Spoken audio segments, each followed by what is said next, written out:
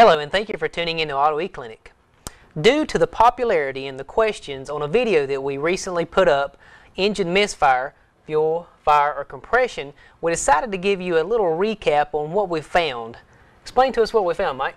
Well, we know we had very little compressions on cylinder 7 or 8 in this particular Ford. I believe it was a 302, is that right, Aaron? 302, yeah, 302. Okay. So we knew at that point we could have had a piston problem, a ring problem, or something in the cylinder head, but we had no idea until we tore it down. We did tear it down. We pulled the cylinder head off and we immediately saw the problem. This is a picture of the head gasket and this is the break in the cylinder head gasket between cylinders 7 and 8.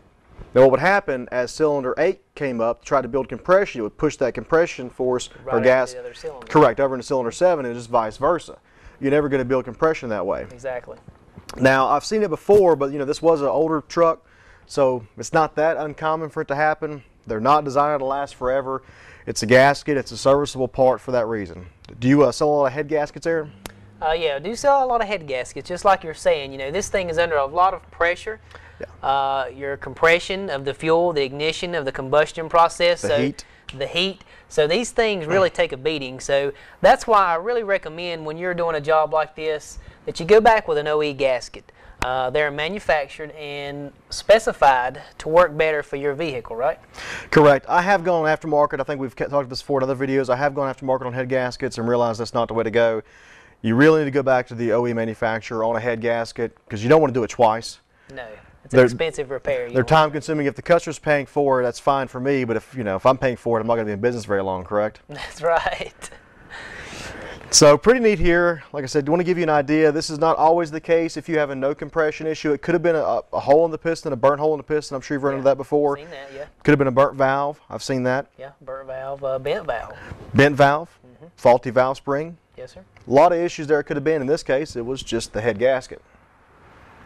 Well, we greatly appreciate you for tuning in today.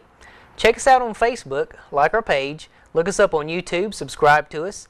Uh, if you have any questions, comments, concerns, or would like to ask us if there was a video that we'd do for you, uh, send us an email at info at autoeclinic.com or check us out at autoeclinic.com. Go to our uh, submission page. You can put your address, information, and whatever you want, question, uh, whatever you want us to see. We'll try to get back to you in a uh, timely manner.